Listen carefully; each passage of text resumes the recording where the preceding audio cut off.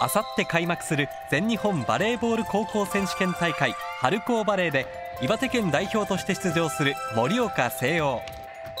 メンバーの一人に八幡平市立西根中学校出身の伊藤菜乃葉さんがいます。伊藤さんがバレーを始めたのは小学校1年生の時です。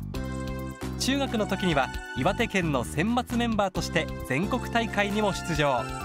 広報八幡平でも紹介されました。伊藤さんはその時すでに高校はバレーの強豪校に進学して春高バレーに出場するというはっきりとした目標を持っていました。今年は決定力のあるアタッカーが大勢いるのでそのあそういう攻撃面とかだけじゃなくて自分はコートの中を盛り上げる役なのでそのムードメーカーとしてチームを盛り上げていきたいです。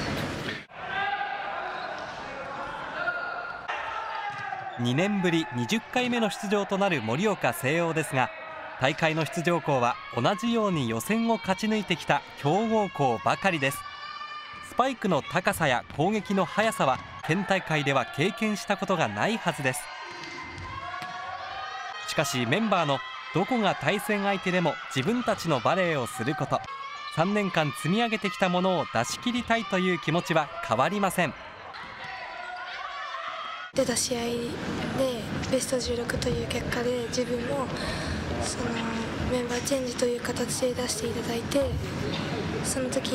にもっと上に行きたいっていう気持ちは大きくありました。今年の目標は日本一です。